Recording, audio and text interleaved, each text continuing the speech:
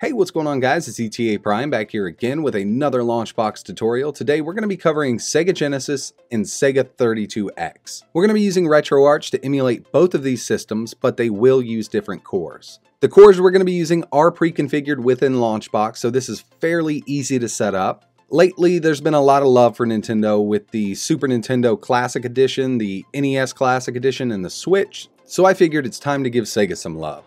Let's go ahead and get started. First thing you're going to need are some Sega Genesis games. Now I have them on my desktop in a folder called Sega Genesis. We'll open it up. These are .md files. I always unzip my Sega Genesis and Sega 32X games and I definitely recommend doing so. They are .md after you unzip them. Sega 32X will be .32X.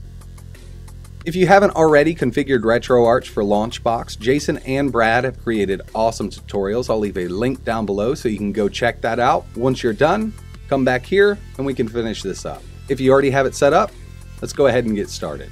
So I like placing my games in my Launchbox directory under Games, so that's what I'm going to do right now. My Launchbox directory is on my C drive users ETA Prime Launchbox. I also have a Games folder.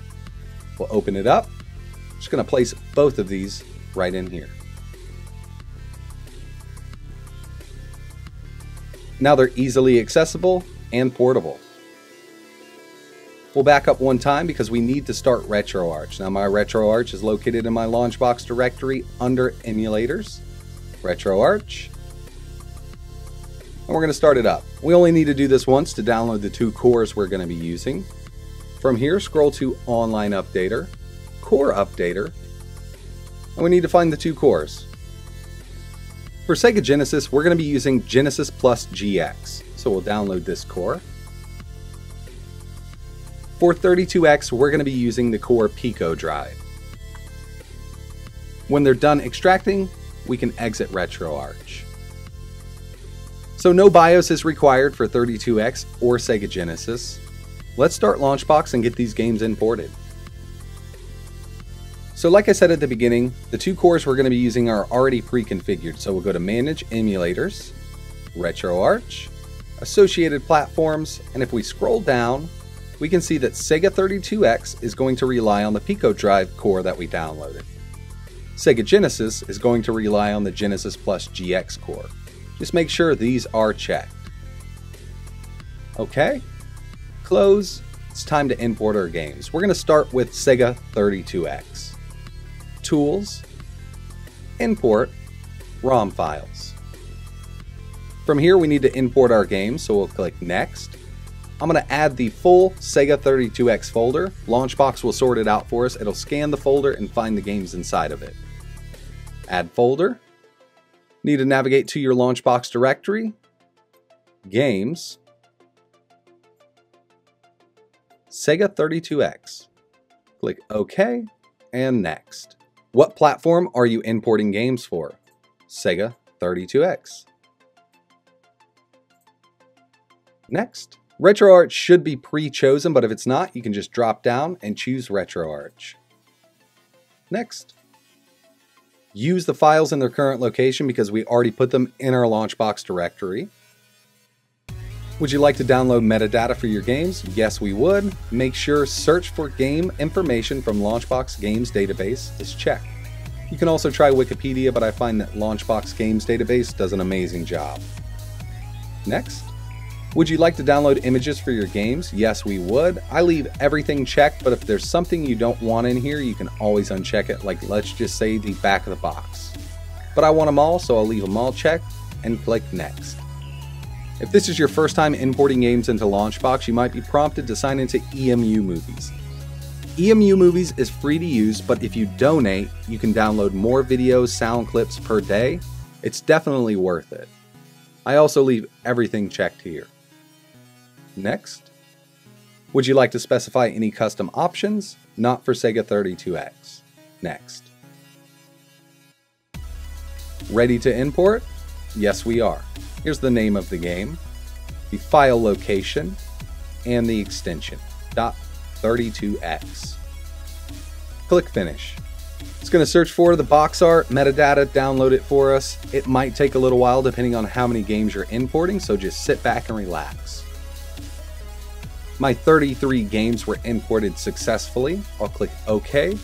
Over in the left hand column, we should now have a Sega 32X option. Now I like the carts, but we can also choose our image type and go to 3D boxes. I really love the 3D boxes. This is our Sega 32X collection here. I'm going to start a game and it'll be Primal Rage. So I'll just double click, should launch RetroArch, go full screen. I have my FPS listed in the top left hand corner.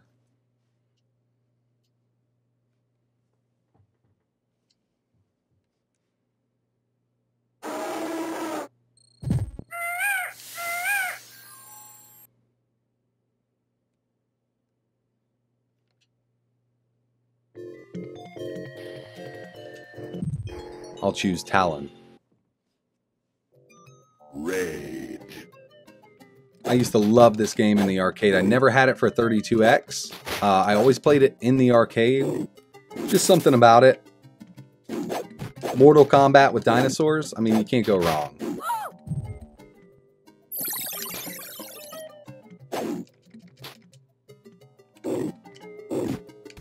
Now it's time to import our Sega Genesis games. Tools, Import, ROM files. Next, add a folder. We're going to find our Sega Genesis folder under Games. Click OK and Next. Same thing here, but we want to choose Sega Genesis. Next, RetroArch should be chosen. Use the files in their current location Search for information from the Launchbox Games database. Next. We want to download box art? Yes. EMU movies? Next. Would you like to specify any custom options? No, so we'll click Next. Here's the games I'm importing, the file location, and the extension, .md. Finish. I'm not importing many Sega Genesis games, so it should be pretty quick here. My games were imported. Okay. Left hand column, Sega Genesis. Image type, 3D boxes. And I'm going to go ahead and start Altered Beast. This is my favorite game for Sega. I grew up with this game. I still have the original cart that I had when I was younger. Double click,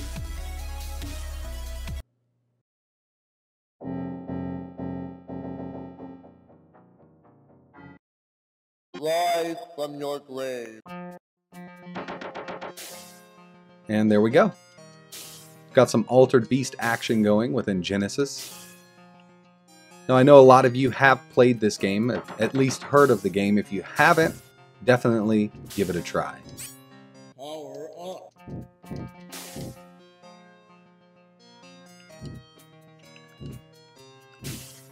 And that's pretty much it for this tutorial, guys. I really appreciate you watching. You now have Sega Genesis and Sega 32X up and running within Launchbox. If you guys have any questions, let me know in the comments below and I'll try my hardest to get back to you. Like I said, there are standalone emulators that work with Sega 32X and Sega Genesis, but I find that RetroArch is so easy to use, you don't need any extra emulators installed on your PC, and they just work within RetroArch. If you guys could, hit that thumbs up button and subscribe to the Launchbox YouTube channel because we got a lot of great content on the way. And like always, thanks for watching.